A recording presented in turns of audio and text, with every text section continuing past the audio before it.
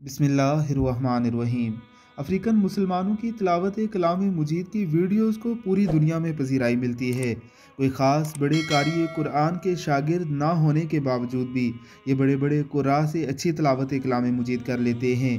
ان کا کہنا ہے کہ انہوں نے اس تلاوت کلام مجید کو بس پریکٹس سے ہی سیکھا ہے۔ یعنی اس کی مشق کر کر کے ان کی آوازیں اتنی نکھر گئی ہیں کہ یہ بڑے بڑے قرآ سے اچھی تلاوت کر سکتے ہیں۔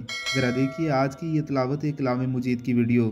أسس بنيانه على تقوى من الله ورضوان خير أم من أسس بنيانه على شفا جرف نار أمن أسس بنيانه على شفا جرف نار فانهار به في نار جهنم.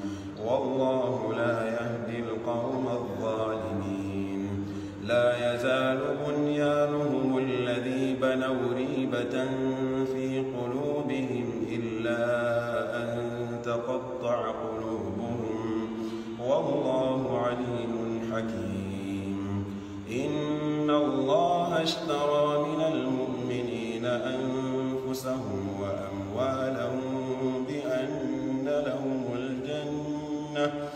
يقاتلون في سبيل الله فيقتلون ويقتلون.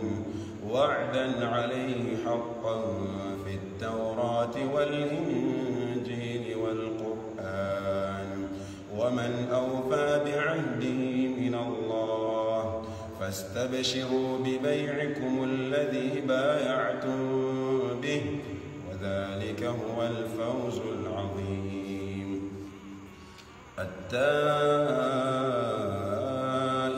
العابدون الحامدون السائحون الراكعون الساجدون الآمرون بالمعروف الآمرون بالمعروف والناهون عن المنكر والحافظون لحدود الله وبشر المؤمنين ما كان للناس النبي والذين آمنوا أن تستغفروا للمشركين ما كان للنبي والذين آمنوا أن يستغفروا للمشركين ولو كانوا أولي قربى ولو كانوا أولي قربى من بعد ما تبين لهم أنهم أصحاب الجحيم.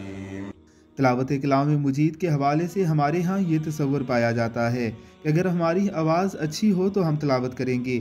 حالانکہ آقا علیہ السلام وسلام کی ایک حدیث مبارکہ کا مفہوم یوں بھی ہے کہ ہر کوئی اتنی ہی اچھی تلاوت کلام مجید کرنے کی کوشش کرے جتنا وہ کر سکتا ہے۔ یعنی ہر ایک اپنی استطاعت و آواز کے مطابق ہی اچھی تلاوت کلام مجید کرے۔ یاد رکھیے کہ ایک دوسری حدیث مبارکہ میں یہ بھی فرمایا گیا ہے کہ جو خوبصورت آواز میں تلاوت کلام مجید یا اونچی آواز میں تلاوت کلام مجید نہیں کرتا، وہ ہم میں سے نہیں ہے۔ اللہ ہم سب کو اپنی استطاعت کے مطابق تلاوت کرنے کی توفیق عطا فرمائے۔ آمین سم آمین۔